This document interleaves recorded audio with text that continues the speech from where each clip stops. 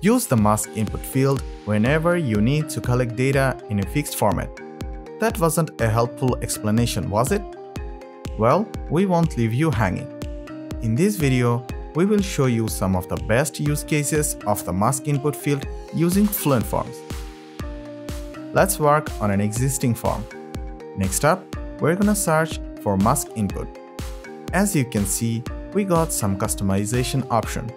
We can change the name, alignment, admin field label of our mask input. We can use the placeholder so the users will know which format to use. Now, let's check out some of the use cases to get the best out of mask input. One of the best use cases of mask input is when you need time-related input. Say you wanna get the time when your employees enter or exit the office. Do it easily by selecting this time option. This will allow your employee to fill in entry or exit time in a 24-hour format. Or select custom input and make it a 12-hour format by implementing alphanumeric character format here. For example, this will allow your employee to submit the time in a 12-hour format by indicating AM or PM. Next up, date. What if you need your students to enter the date of submission? In this case, we are gonna use this option. If you don't like this format, you can always create one that you like with custom mask. Just follow the rules. If you need any help, make sure to check here. So you can collect dates, you can collect time. Can we collect both together? Well, this is a job for this option. Or you can tweak what we just showed you in the beginning with time and date and easily create a custom mask just like this.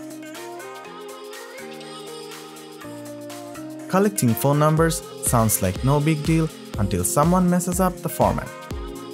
They might leave you with incomplete data, leaving out the state code and whatnot. Well, not anymore. You can set the rules of engagement here. Say you want them to use area code before they put their phone number. Make it happen using mask input. In case you want the phone number of users from a certain area, just use the prefix label from here. You can also use prefix if you want to get the course code of an exam. Suppose you want the students to register for an exam and they have to input the subject code. You can use the prefix option to set the starting value like this. This will rule out the possibility of any mistake taking place. License key has a unique value.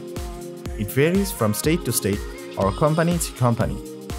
It could be 7 or 8 numeric digits or an alphanumeric value. Some can even have gaps between the numbers. Fix up the format of license keys you're accepting using custom mask.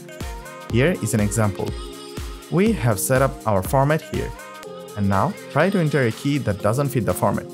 No can do. Often, you'll be asking your users to enter personal information that is rather sensitive.